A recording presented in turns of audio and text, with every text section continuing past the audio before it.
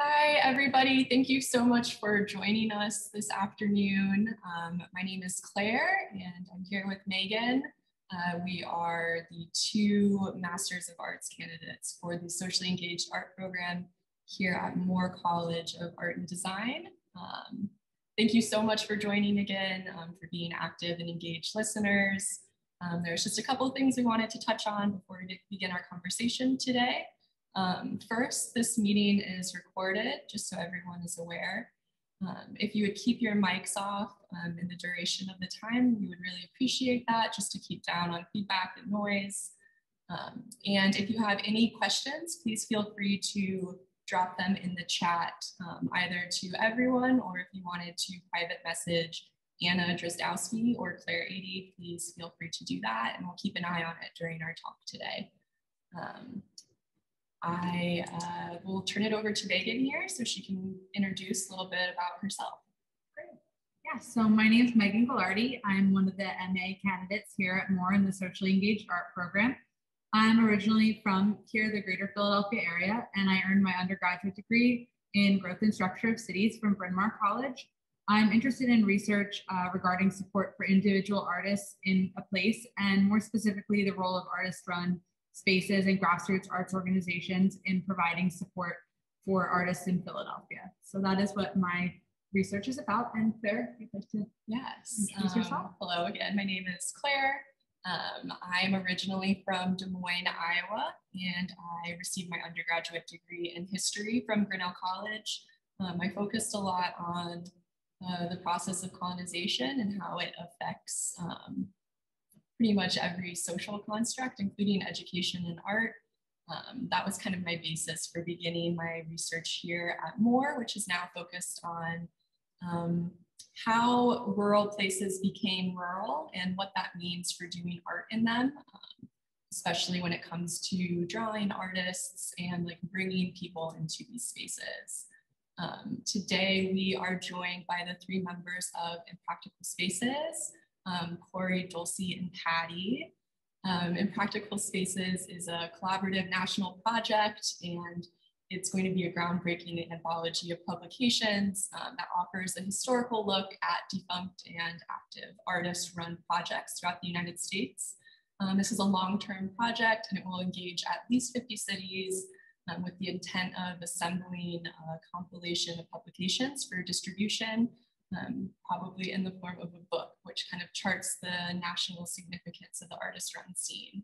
Um, it's one of the first projects or the first project to ever comprehensively record the development of artist run spaces on a national scale. Um, and we are really, really thrilled that they are joining with us today. Um, and with, uh, with that said, I will um, turn it over to the three of you if you want to introduce yourself a little bit more.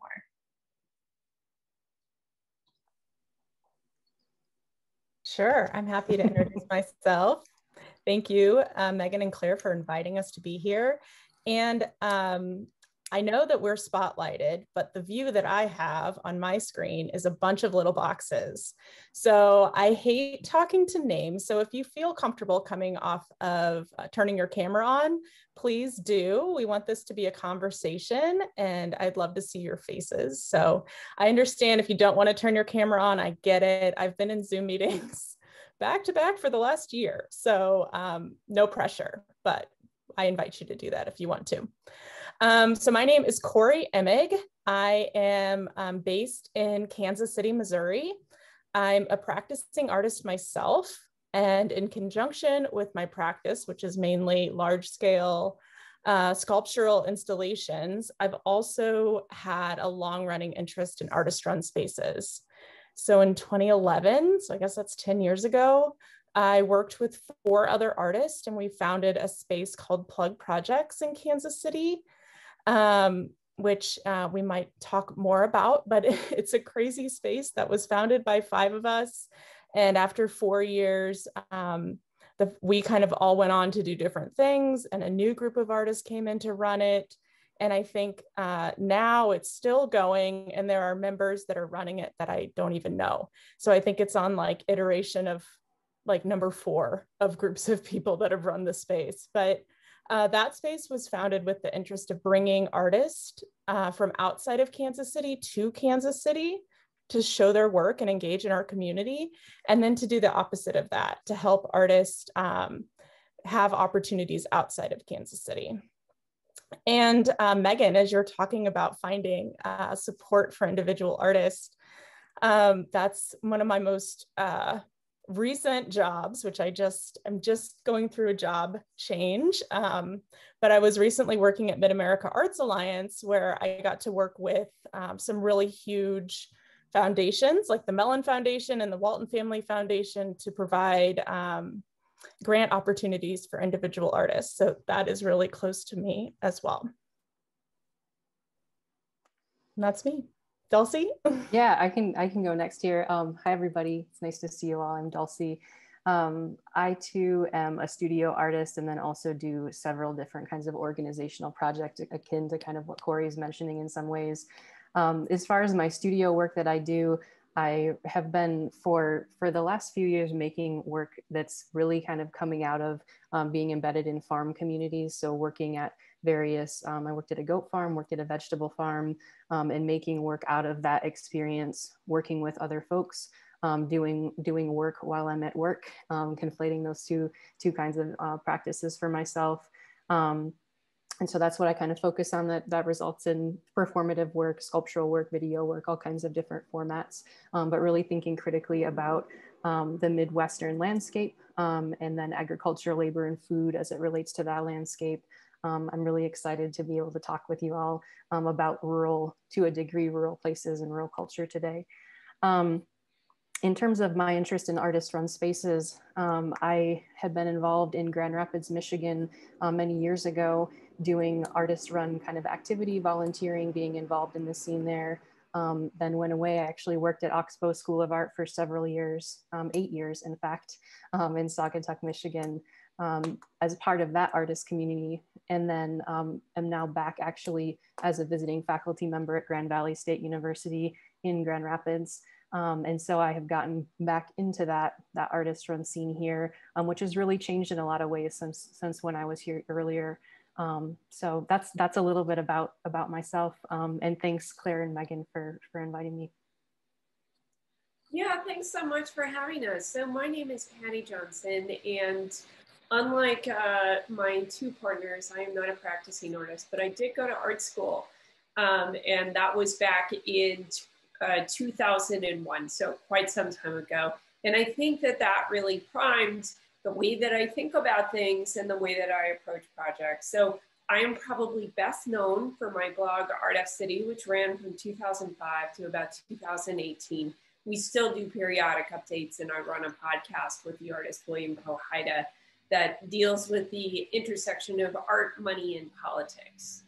Um, throughout my career, I have engaged with artists and artist run spaces, and I have made it a practice to try and support artists um, through helping them gain, gain exposure via uh, first via the blog, via um, certain artist projects that we ran. We um, on Art F City, we ran a very uh, well-known project called Image Management, where we published uh, images that artists were collecting. This was sort of prior to Tumblr, Instagram, all these other social media sites where people can share whatever the hell they want, whenever they want.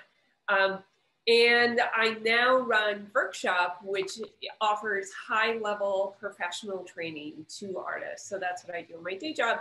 And um, what we do together is Impractical Spaces, and that is a long um, writing practice that I think, and well, documentation practice that for me ties into my long, uh, sort of my long writing practice, but um, is really invested in documenting and recording these spaces that we think are so important. Yeah, absolutely. Thank you. Thank you so much for sharing that. Um, I know Megan and I were talking earlier about um, kind of some questions we wanted to address and what Paddy was speaking about there at the end, kind of creating a like a living testament or an archive to um, support of artists in the form of like artist run spaces. Um, it's just so incredibly important. Um, and we were curious about kind of like what drew you specifically into the practices that you do together. Um, yeah, like supporting supporting artists, but is what was the kind of pivotal moment for you where you realized that there was a chance to kind of make this comprehensive project that will maybe launch what we're talking about more into the limelight? Well, we we all there's kind of I feel like a lead up to that answer to that question a little bit. Um, we all we all three met actually um, a few years ago when Cory and I were putting together a symposium. It was a three day symposium called Beyond Alternatives, which was focused out of our work, um, Cory and my work specifically um, in Central Illinois. We started a temporary residency there called Say Uncle. Um, and we realized through doing that, kind of hosting artists doing that residency, um, that there was a whole lot of things going on. There were a lot of artist run spaces in that area. Um, that area meaning like a three hour, two and a half hour, three hour radius um, from where we were located in central Illinois. Um, and so Beyond Alternatives was a response that Cory and I um, had to bringing, just wanting to bring those folks together um, to have conversations about that, that specific um, kind of structure in a way that's very different than um, the sometimes the density that can be in, in, cities in terms of art more artist run spaces 10 15 20 minutes 30 minutes an hour away from each other. So that that structure we were interested in um, kind of thinking about in conversation with other people. Um, and we actually invited Paddy to be the keynote speaker um, for for that symposium. Um, and Paddy uh, maybe if you want to share the project at that point that you kind of talked about at the symposium um, during your your keynote that um, really then then kind of um, yeah yeah so i think like probably part of the reason that i was invited um, was because I, at the time I was working on this zine called We're So Not Getting the Security Deposit Back, a guide to defunct artist spaces. So this was sort of the start of it. Now I had um, started this on the blog maybe about a year and a half ago, two years before um, before this project, before I was invited. So this might have been like 2015, 2016. And one of the reasons that this project sort of came into being was that um, I was constantly flown to different places uh, in the United States and introduced to different artist run spaces that nobody knew of. You know, I, I, would come back and maybe the, the places would look different or they wouldn't exist at all. And I was just like, what can we do about these places? And this also was like at the height of sort of New York gentrification stories. So I was also deeply involved in like trying to figure out ways that I could still have an apartment, you know? And so, um, yeah, I think maybe almost rather than deal with that quite directly, I was like, well, let's take a look at um, where all of these really talented artists are, what they're doing, and what um, this, like, what this look like, what this is really looking like across the country. So we did a pilot edition um, which was the so we're so not getting the security de- deposit back with Washington D.C. and we worked with them um, almost randomly. You know, there was somebody who contacted me was like, I really want to do this, and we're like, okay. and I was like, okay, well, we'll help support the publication.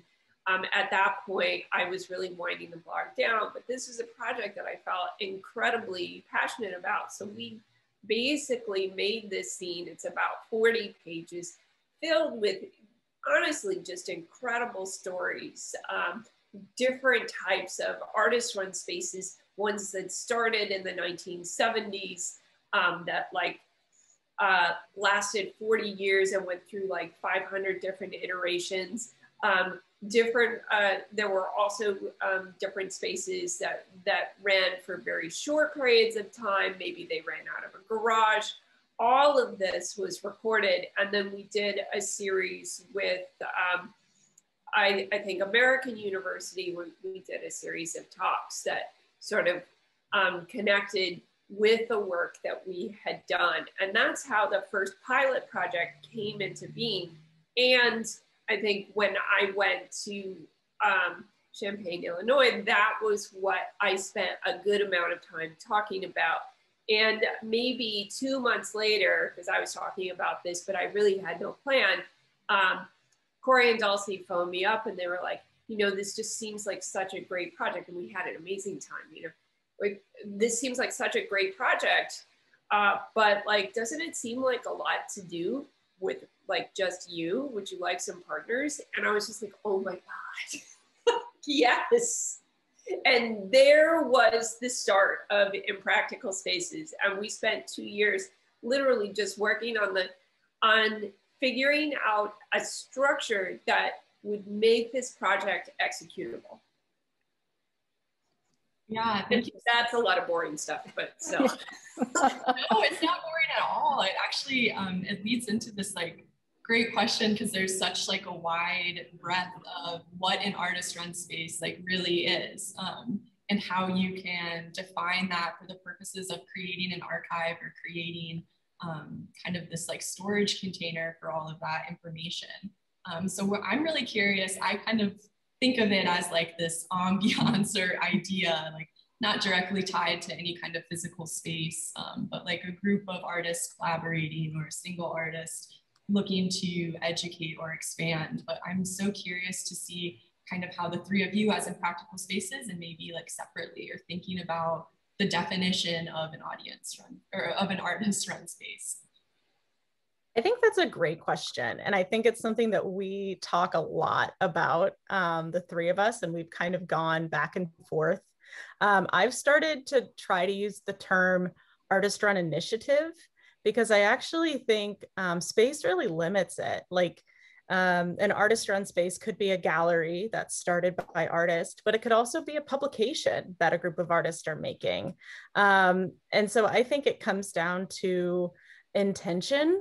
Um, like, why is the space there? Uh, or the the project like what is the intention behind it and oftentimes you know these are really experimental short term um, projects that don't usually, they're not usually started with a goal of um, making money sometimes. Um, but there's also like a million different artist run spaces and a million different ways of doing it. So it's really hard to come up with one definition because whenever you start to try to put parameters or to define it, there's always um, artist led initiatives or projects that um, don't fall into that, but still might be considered um, part of that. So, something that we've decided so, with this project, with our hope, our kind of grand dream, um, is to document um, at least 50 cities in 50 different states across the country. And we realize this is going to be a super long term project. Um, but I think with that, working with each community or each city to really establish what does artist run mean in their community and really having these um, publications be site specific to the location. And that's something that we've been um, really conscious of. And we want to make sure that um, that the communities and the people that are working with us, um, our partners in these communities are a part of helping us define that. I think that's really interesting because I think that that's also something that I've um, realized through my research is that maybe the models that we have here in Philly, which are really membership oriented kind of models of artist run spaces specifically, are different than maybe other places where it's not that same model. So I think that's really interesting the way that it is based on a, a city approach and seeing that there's different approaches in different places. So yeah, and also speaks to what Dulcee was talking about earlier with um, kind of the like the density of mm-hmm. um, artist run action or artist run initiatives um, in cities. There just are so many more. They can be so much more targeted to um, certain sect of art or a, a, type of art or a certain type of interaction with the public. Um, Whereas kind of farther from like city um, metropolitan centers, you get this kind of um, more all encompassing type of artist runs um, spaces, actions, initiatives, whatever, yeah. whatever you want to say. Um, I often find myself using the term projects because it's it's all sorts of projects or initiatives. Yeah, yeah absolutely. I mean, I will say that we do see themes evolve, um, particularly um, at the beginning. There, there tends to be um, certain things like um, a willingness or um, interest in doing things before um, you know planning things out completely. So that's something that we see quite frequently. I think Cory, when you organized the um, Impractical Spaces event in Kansas City, I think almost everybody who started a space had a very specific story that did not include a business plan. You know, well, there's one person who had a business plan, but he went to a library to find out how to write one, and it was like completely made up. so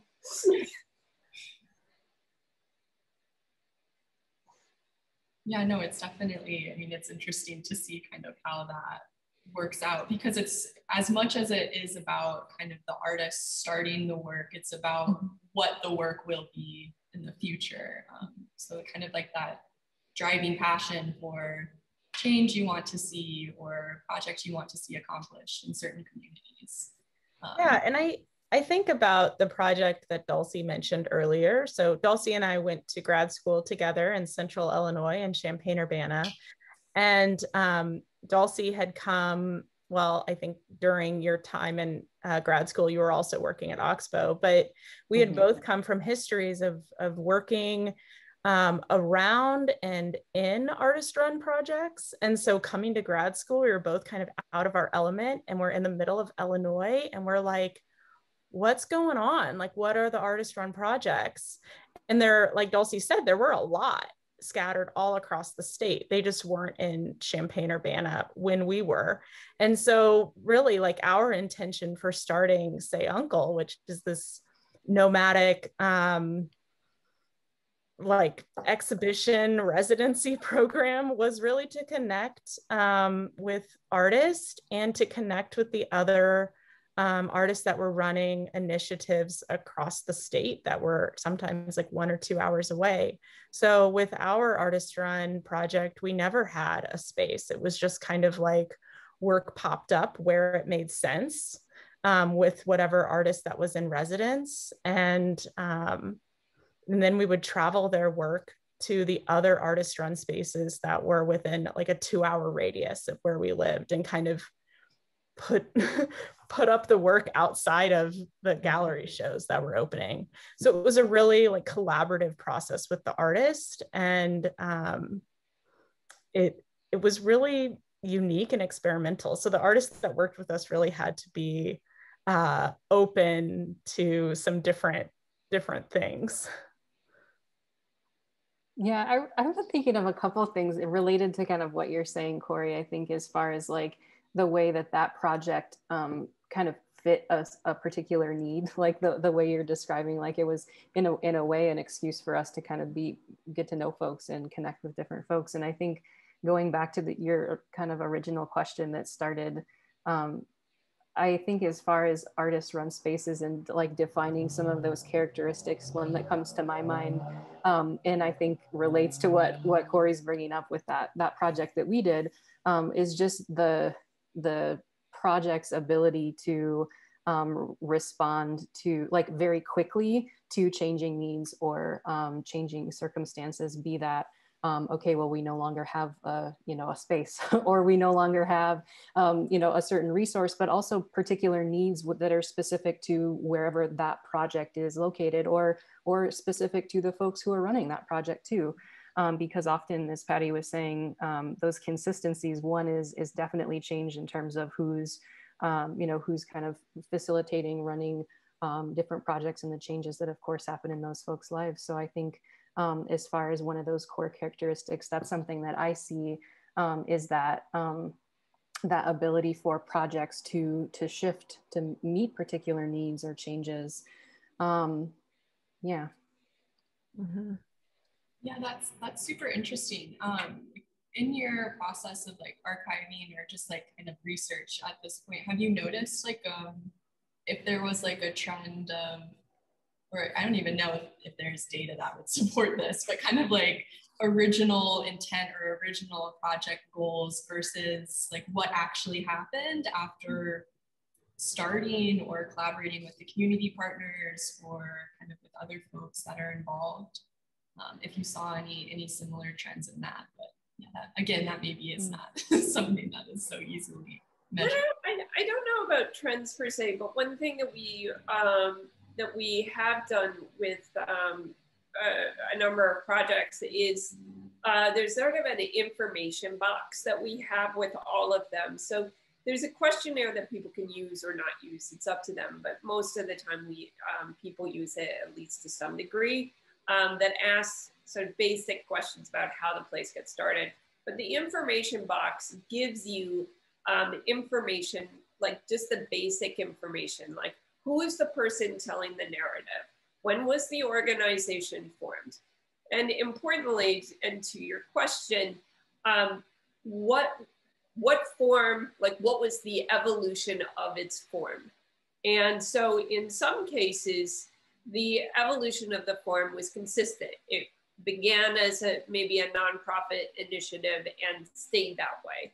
In very many cases, there were there was a lot of evolution, right? Um, and uh, the the members who were part of part of it initially um, maybe are no longer part or participants, and that even comes up like a, a lot of these sort of there is some basic taxonomy um, when you start talking about the types of uh, artist run spaces and um, sort of how they break down structurally, because there's really only so many ways that um, um, business, even if it's not designed to make any money or like a project, let's call it like a project, can really run. Um, and so you do see those things. I would hesitate to call them um, trends so much as just um, just they really are taxonomies. I think one thing that we see in terms of the, the thing that I always think about when I think about like certain types of projects that um, that represent a thematic thread um, is that both I think in almost all the projects that we have like different cities we, we've um, with the partners that we have there's always a space that is both a music venue and um, an art space. And those are the ones that tend to have like the craziest stories. Those are the ones like we and in DC there's like there was a place called Hard Art that had um, a concert with it was an impromptu pro- concert with the Bad Brains in this space that was like I don't know the size of a closet and they fit a hundred people in there and it was disgusting. It was the middle of summer, and they talked about how when they came back, there was just this like sweat ring around the room because there were so many people packed into that space. But then in Kansas City, they talked about Cory. Do you remember the name of that venue? The um, where they talked. Um, they gave a presentation about um, all the different like superstars they managed to bring into the venue. And like the, it was like a virtual who's who of like 90s uh, rap stars. Yeah i think that space was locus solus um, that space was maybe like 20 years ago. Um, but yeah it was uh, it, it was really interesting hearing that history and how like the music paired with the art um, i would say we hear that a lot there's a there's a space here in grand rapids um, that I, I also don't necessarily wouldn't i wouldn't call this a trend but it is something that we've noticed too. Um, and the space in grand rapids is an example of what you're what you're saying Paddy. The music is an all all ages um, music venue called the division avenue for the arts um, council. And it was a collectively run organization that was around, I think, for a little over 10 years on South Division in Grand Rapids, um, and then kind of went dormant for a time and is now back with a new, completely kind of new group of folks running it. Um, and it, so it was music and art and several different kinds of um, community activities happened there too. Um, but it was like kind of foundationally around music and art specifically. But I, I do think that we've seen that um, in several different places where there are those those spaces that um, it's kind of to me i mean this might be cheesy but uh, it's kind of like the folks couldn't couldn't quite let them go. Um, and so they they have come back in some different form um, with maybe that different organization that you're mentioning Paddy or some um, in this case a, a, different group of folks who who wanted to continue on that work. Um, so that is something that we've seen too. Um, and I, I, would guess of course other folks here have you know have seen that that kind of wave to spaces. You know things that I think is like most interesting um, about learning uh, about these different spaces can be the, the degree to which cities really shape the art um, and different spaces. And that's, I think that is something that is more significant than I maybe realized. So Dulcee, maybe you can talk about this a little bit, but I mean, I always knew, I mean, if you were sort of following um, Art Prize and like what mm-hmm. that is, you probably know that it's a giant um, uh, public prize where people have to vote on art that looks like praying mantises and like um, all sorts of terrible things. And sometimes they have some good stuff, but it's like it brings in tons of people and has really shaped the city. Um, and I feel like that got um, borne out a little bit in some of the work that that you've done. Yeah, yeah. That that um, that competition, that program, Art Prize, um, really really has shifted um, from my understanding of of being out of Grand Rapids and then kind of coming back. Um, into Grand Rapids, that, that that project really shifted all kinds of things structurally in the city, um, largely that idea of, of funding. Um, there used to be an arts council um, and that, that kind of allocated funding. Um, and, and with Art Prize, the, the funding structure sh shifted, um, but also I think in a, a really big way, there's also just re real estate is, is nuts here. I mean, it's completely, completely um, really, really high priced. Um, and so that I think is one of those things kind of getting into that, that idea of like urban urban planning, urban development, and, and kind of um, combining, I think what you're saying, Paddy, in terms of the way that that like like impacts the art, um, which of course um, are kind of holding hands in this example where there's not there's not quite as as much um, available space for these projects, uh, maybe available funding, um, available time in some ways, I think too, and also available attention um, from from various publics because there's a really really intensive seasonal attention um, that that happened has happened for Art Prize, um, and now I, am not sure what's going to happen as things shift um, over the last the last couple years, really, with that.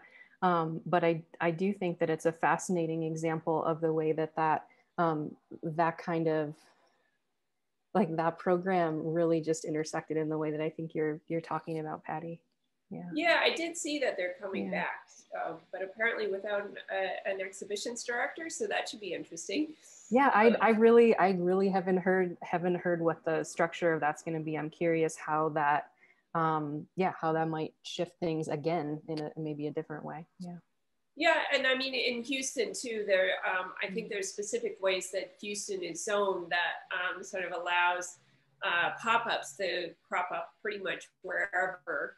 Um, so you can have like a really, uh, you can have artist run spaces in very unusual places where they wouldn't normally um, in other cities where the zoning is, is a little bit more, um, is works a little differently. Um, like Houston scene is really sort of unique in that way. So we were actually fairly close on um, wrapping up that book. Um, so that should be pretty exciting. And that's that's run by um, Pete uh, Gershon, and he's just he's incredible, an incredible yeah. historian. I think it's interesting also uh, going back to sort of the conversation about music spaces and art spaces and how they're often in the same place. I've noticed in Philly a lot, it's, it's often different places. Um, and I came to my research about DIY sort of art spaces from a background in DIY punk music spaces.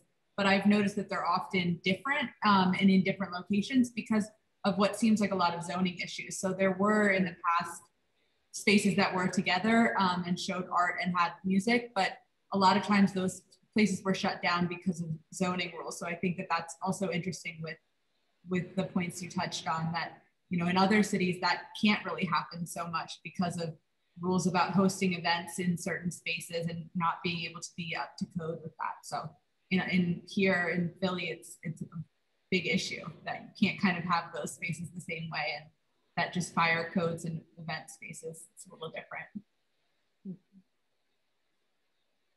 I mean, I think one of the um, interesting things about the project that um, that I think makes it a little like fairly unique too is that um, I think with a normal publication project, there's a, almost a sort of random like, okay, we will work within X date and X date, um, and these will be the parameters. Um, that didn't make sense for us because uh, we like to let um, let our city partners decide what they're going to choose because they are the ones who have the expertise. So they're going to be able to tell us whether realistically, like how far they can go back. So with Kansas City, I mean, we go back more than 100 years, I think, with, with um, that history, which is just so incredible um, to read. But then we have other histories like the DC um, history that we, we produce that begins in 1970. Um, and we have, I think, with Puerto Rico, which we're also working with, they're going to begin, I believe, in 1980. So they all start at different times. Um, but we do have a few overlapping decades. You know, there's nobody who has said to us, I'd like to exclude the last 10 years. So we do have, we do have the contemporary. And that like, that just like that seems so exciting to me when I think about those that overlap between all those places that you mentioned, Paddy, that are all going to have that information sheet where you can you can go see what was going on in Kansas City. Meanwhile, you know this was going on in, in DC, and they're actually like pretty much the same the same kind of space, or maybe are running into similar kind of problems or had similar trajectories. Like that, like revealing that that history is happening. Um, that's when I I get super excited um, to to reveal that that that is is part of um, this kind of history that we're talking about. Yeah. Yeah, no, that's super interesting because yeah. it yeah, points to like greater kind of collaboration and like mm-hmm. system engagement that you don't really, yeah, overtly see until you do this kind of like picking of places and, and doing that sort of like in-depth um, kind of like history of a place, mm-hmm. I guess. Um, what is Oh, I was just gonna say, like, it's so once a, an artist-run space or project closes, really it disappears so quickly from people's minds and from the history. So I think even just the research that we've done in Kansas City, I know Paddy said we're going back 100 years. Uh, we found um, that there was one corner, uh, one particular intersection that over the past 100 years, like multiple artist run spaces have inhabited the same storefront. And it was like that knowledge is out there in our um, art community and in our community in general, but like it's never been written down, it's never been documented. And so um, to just be able to say that and then have this um, publication and this resource documenting all of that is uh, it's it's really amazing. Yeah, you know, I feel like those types of records tend to exist. You know, if a if a restaurant, um, if a series of different restaurants occupy a space, you, it's much more likely that there would be a history of that. In part because those businesses have incorporated it, and there's like a more of a paper trail around them. A lot of times we don't have that. And so we have to rely on an oral history or, um, you know, different types of histories to unearth this information.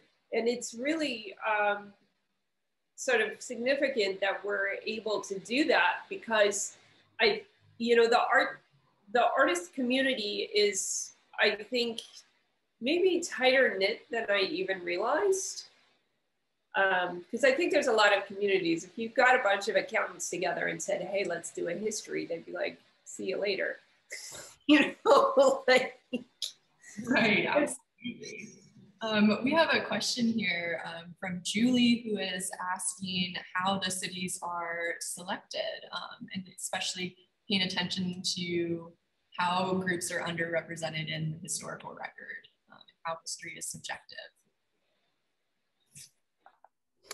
Yeah, well, you know, that is a, uh, come, so this project, let's see, we've been working on it for almost two years as the group of three of us. And the ways that we've come up like with executing it, we've probably had 20 different versions of how impractical spaces is going to work or how we choose partners or how cities get involved or what the how long the project will last. Um, and then you know with covid it's caused us to rethink everything again. And so the the question of you know how we choose our cities and how we choose our partners um, you know i think we're still right now we're trying to finish our first six partners which are let's see puerto rico houston portland oregon. Uh, we're going to republish baltimore. Is that right? Kansas city? Dc dc dc kansas city. And then there's one more that i'm in grand rapids. Grand rapids thank yeah. you. Sorry Dulcee you're sitting right there. Yeah. Um so i think but you know we've been asking ourselves that question like what how do we decide on our cities? And and then when we do like how do we pick our partners because this uh it's a lot of work you know we're relying a lot on our partners and we talk about how impractical spaces as a whole is it really like an artist run initiative or an artist run project like we're not we are a um, nonprofit organization but that doesn't mean that we're any of us are making money off of this. This is all a project that we're donating our time to. So um, when we're inviting people to be partners or when they're saying they want to be partners, um, we want to make sure they understand the time commitment and um, just how big of um, a lot of it's a volunteer job. So uh, I think it gets really, uh, it gets hard to say, you know, come up with really strict parameters around how we select partners and how we do it because it's um, it's not like anyone's getting paid for this work at least not right now. Hopefully in the future we can get our partners paid. Right absolutely. so it's a question that we're we're thinking a lot about and just like artist run spaces in general require a lot of free time and a lot of free labor. And um, you know who has the time and the money to do that um, and so i think there's a lot of a lot of questions that we're asking ourselves through this process God, that's great. Thank you so much. Thank you. And then we have a, a follow up to that from Daniel. Um, and it was a follow up to both Claire's question about tracking changes in mission statements and Julie's question. And he asks um, any thoughts about how changes in recent years from spaces that may either be loosely apolitical or focus on a value, value system of experimentation who have now switched to be um, more explicitly oriented around social justice. How could that be tracked and would that be useful?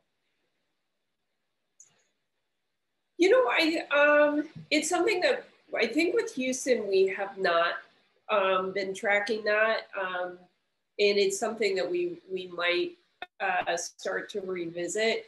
One thing though um, that I have noticed with uh, certain artist-run spaces, so um, let's take like um, Tiger Strikes Asteroid as an example. They have many chapters, and I think that they, um, at least originally, seemed to um, see to be loosely apolitical. And one of the things um, that Alex Paik told me when I was talking to him maybe six months ago was that they had taken this time to really kind of um, think about their internal identity um, and what that um, like what that meant. Um, and they felt that they had always described themselves as an alternative and then wondered well what what are we an alternative to? And a lot of the um, protests over the summer and a lot of the things that have come out about various board members at museums that are all kind of gross and icky and like all of that, it became very clear to them that they could run an organization that was not compromised in that way and that that was part of what their identity was. And i would like to think that that is um, partially what where i think some of this is going that they're like what we see artists' faces being an alternative to now um, is a system um, of wealth that we see as broken.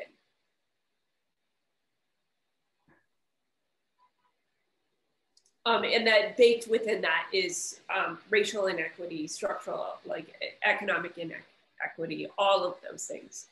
Yeah, no, that's, thank you. That's a really like, very clear cut answer. Um, I also think that that it might have some interesting ties to like um, kind of the rejection of having like a physical permanent space um, in some cases if like trying to create like um,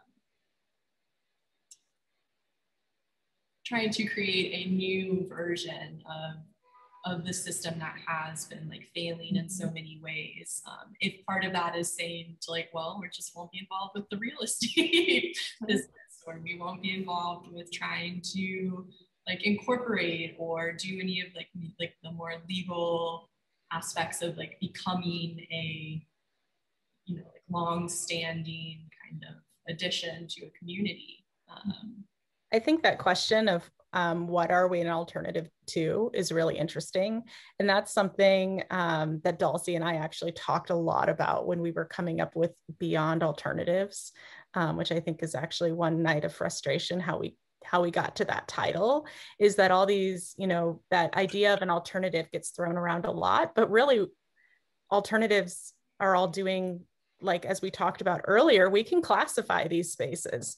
There's the co-op model. There's the um, we're going to sell work that pays for our space model. There's like the um, people that run it pay in model. So there's like you know a few distinct models that are all alternatives, but really um, you know, they're not alternatives anymore. Maybe at one point they were, but now um, th- they're they're all you know done slightly different, but there's definitely a model there. Um, so I think that's interesting. Creating a new vision, um, a new form. It's very interesting. Oh, and the other thing I was going to say in Kansas City. So what you were talking about Claire, of spaces um, maybe just saying, I'm not going to deal with this system. Um, we've actually seen that happen with a few of the spaces in Kansas City, and they went from having um, a storefront where they were doing a really active program. Maybe they had openings every month, they were doing artist talk series, to being um, to just existing on an Instagram account.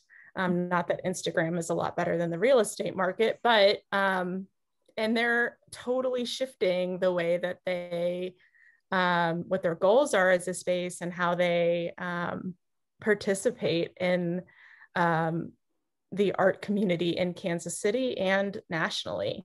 And it's really interesting um, to just see how COVID is changing Kansas City and its artist run um, and artist community. Uh, I think we're going to look a lot different uh, in a year. I still don't, it's still foggy to me what's going on, but I know there's a lot of change and I know a lot of the spaces are going virtual.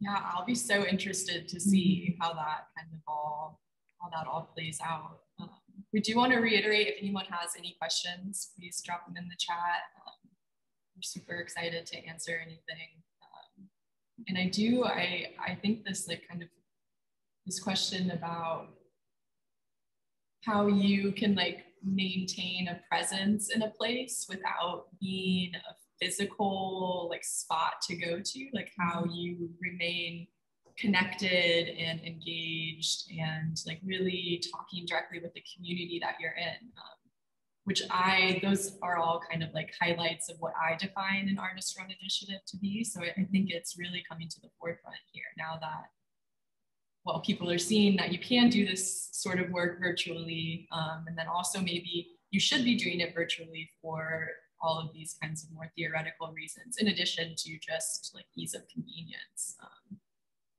yeah, that's, that is very interesting. Do you, do you suspect that the models will change um, a lot in the next like, I don't know, like two to five years? Like you were talking about the co-op model or like all, all of these kinds of like different forms that you're, you've been seeing. Um, do you think COVID will have like a major impact on those structures or just kind of the, um, the like actual space or not space that they're in?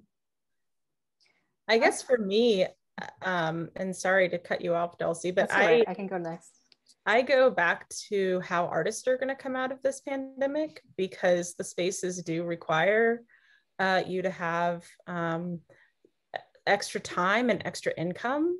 Um, whether or not these spaces require a lot of money, a lot of them are really just like done on shoestring budgets. They might not even call it a budget, but it costs money and it costs time. And I think if artists um, come out of the pandemic, I mean, it's all individual situations, but if um, if there is still the time and the money, then I think some of these spaces will start, I think we're going to see really different.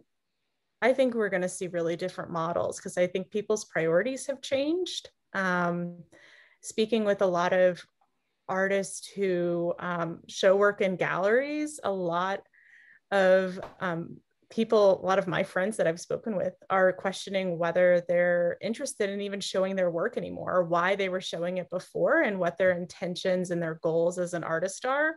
So I think, um, you know, I think we're going to see some different things as people are, um, their priorities are shifting and um, their intentions and the reasons they're making work are becoming more clear. I was gonna, which is interesting after kind of hearing you share that, Cory. What I was gonna say, um, because in in Grand Rapids, where I'm located in Grand Rapids, Michigan, um, through the, the last year, there have actually been several older folks who have actually started spaces in, at their homes, um, in their in their garages, um, and then one one person in a like a little um, kind of the front part of her home anyway. And I I think that that that can seem a little bit different than um, some of the some of the spaces that we've talked about and some of the spaces that I think about as far as the research that that I've done here, which are um, started by, um, you know, maybe some some of those same folks, but but 30 years earlier. Um, and so I think there's there's something. I mean, it's not it's not a direct answer to the question in terms of like what is this going to look like or, or kind of speculating what's going to happen but that is something that i've noticed in three three new spaces is is very significant here um, that might not seem like in a in a larger place that that that might be um, so much to add into the the mix of what's going on but three spaces is really significant and um, the the particular artist that they're showing as well. Um, i think that that that is is a shift and it's a shift that they are not a storefront. They're people who have um, they have the space. They have like you're saying Cory um, that additional you know that time. They have they have the space to do this. They have resources.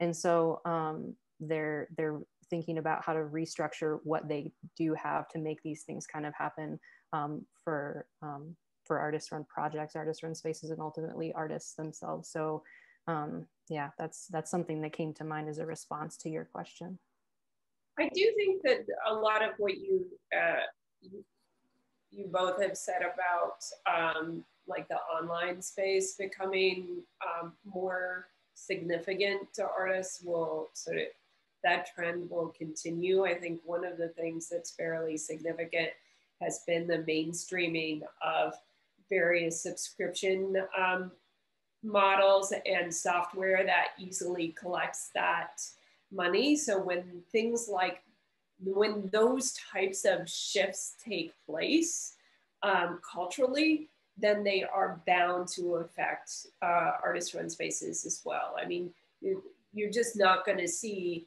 artists operating completely separate from the rest of the culture. We are all got a subscription to everything, we're going to get one to artist run spaces too. Looks like we have another question.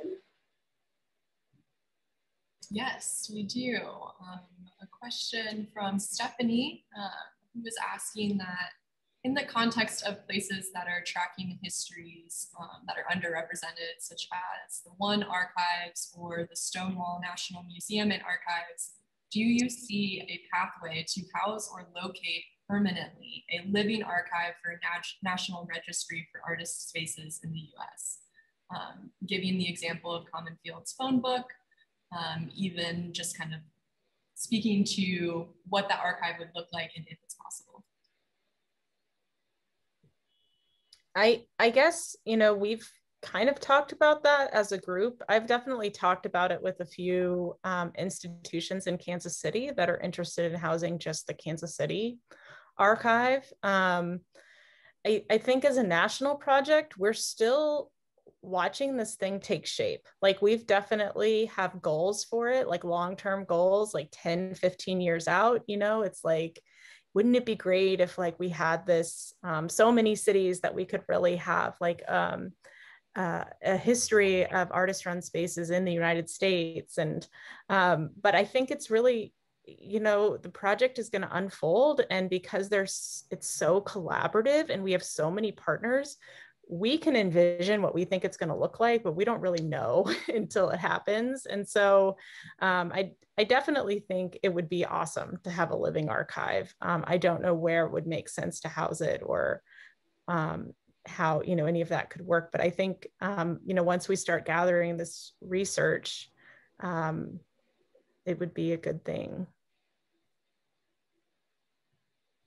i know in kansas city there um, there's a museum the kansas city museum and they're interested in housing it and um, the nelson atkins museum of art is interested in housing something like this and then one of our um, large nonprofits, the Charlotte Street Foundation. So it's like it potentially could live in three different places just in Kansas City. So I think if there's this much demand just in this one place, I'm sure um, once we have multiple cities, could be.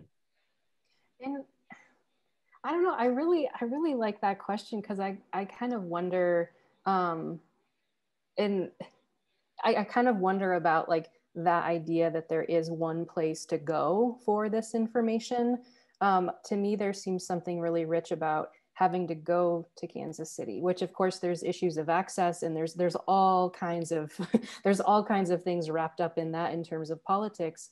Um, but I do think there is something um, interesting to me about there not being kind of one place where the information that archive would be stored, where it would be other places situated in the places where that came that information kind of came from, where that history is embedded. And so, um, yeah, I, I really, I really appreciate that question because I think it speaks to um, so many of those systems, um, which we were just kind of talking about, of course, too. Um, yeah, that's just, that's a thought. yeah. Thank you so much. Yeah. And then we are going to end on this last question from Anna. Um, she said that she's stuck on this phrase of, you know, it's not like anyone is making any money doing this. Um, so, what are the motivations for dedicating time and money to these places? And where's the power in being artist run? I think question to end on. I think um, one of one of the to answer that second or respond rather to that second bit. What where is the power in being artist run? Um, I think oftentimes artist run spaces projects, platforms, initiatives, whatever we want to call them, um, that they're often the places that are willing to take risks with artists and show folks that that don't necessarily, um, in terms of galleries or museums that are much larger scale, um, that don't necessarily have access um, to those particular places. So I think that artist-run places, projects um, can be really, really, really um, essential for for artists to understand their own work, to be in community with other people. Um, they're huge for artists. And I think that that is powerful. I think fundamentally you, um, you have to value learning you know, because so much of what this work is is about that. And if you find value and power in learning, which I think we we would we all do here, like that is where a lot of that power comes from. Yeah, that's absolutely true. Yeah, and I think about my own um, history with artist run spaces and just how strong of a community. So it may not have, um, I may not walk away with like money in my pocket because I've participated in these projects. But as an artist, walking away with um, collaborators such as Dulcee and Paddy and having these lifelong relationships that are constantly influencing my work, as well as experiences that have taught me so much about um, my own art career as well as learning about um, the art careers of um, you know hundreds of artists across the united states uh, it's there's just no other way to get that. Yeah absolutely. Thank you um, thank you so so much, so much yeah. um, for talking with us today. Uh, Paddy Cory and Dulcee really just added like there's so much to think about, I think, when it comes to artist run spaces um, and how they're existing in the US and why it's important to pay attention to them um, while they are existing before a new one crops up in its place. Um, so thank you everybody for joining. Um, we really, really appreciate it. And please um, we'll drop, uh, Megan and I will drop our emails mm-hmm. in the chat here. If anybody has any questions, please feel free to reach out to us. Um, and thank you so much for joining. Thank you. Thank you all. Thank you. Yes, thank you. Thank you.